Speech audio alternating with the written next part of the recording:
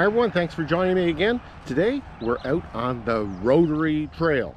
And the Rotary Trail is a combination of trails here in Clarenville, just off Elizabeth Swan Park. So what you'll what I mean by a combination of trails is that there's a short loop and a longer loop. Today we're taking the shorter route and we're leaving from the intersection of Tilley's Road and Memorial Drive. So that's going to bring us in along the lower Shoal Harbour River. We're going to go in through the trail, across the bridge here at the Rotary Trail at, at the Elizabeth Swan Park.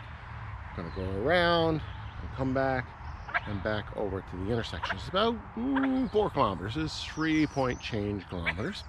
And uh, it's a beautiful trail. It's one of our signature trails here in Clarenville. As I say, it's a series of trails because there's a longer loop as well. And I'll do that in another video. But today we're looking at the three to four kilometer route depending on where you start. If you start at the bridge out at the intersection it's four kilometers. If you start at elizabeth swan park it's three kilometers. Beautiful flat easy to walk trail. I encourage you during summer particularly during come home year to get out and show your friends and family some of the beauty. It's just like being in the middle of the woods right in town. So i encourage you to do that. Also there's a beaver dam in there so you can potentially see some beavers which is good and um, check it all out. So come along, let's get started.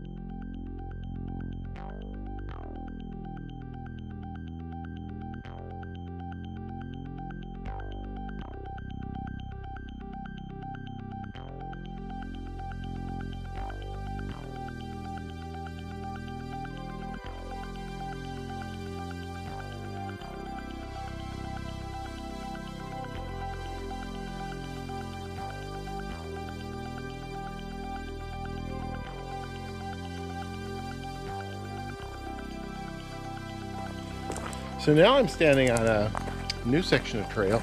This was put in earlier this year by volunteers, and thank you volunteers. Um, what it was supposed to do was to avoid the river, moved away from the river because in the springtime, especially flooding, does a good job on this trail, and traditionally it's always been a problem. So uh, what had happened is the trail moved back away from the stream, and you can see it here. It's a little further back now as a result. We're hoping, I think everyone realizes that there probably still will be some flooding whenever you have a trail next to a brook.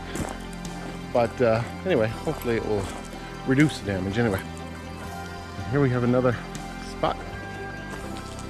Lots of picnic tables. So if you look for lunch some afternoon at work and you want to go have a nice place for lunch, coming this trail along this new pathway, that will be great.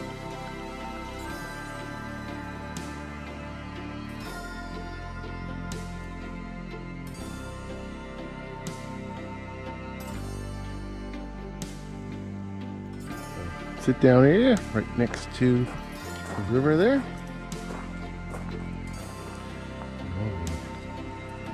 That power put that there years ago. And you can see the boat.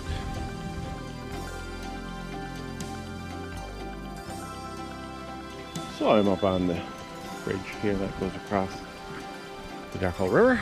If we look up close, you can see beaver dam up. And we can see that the beaver has quite elaborate dam there.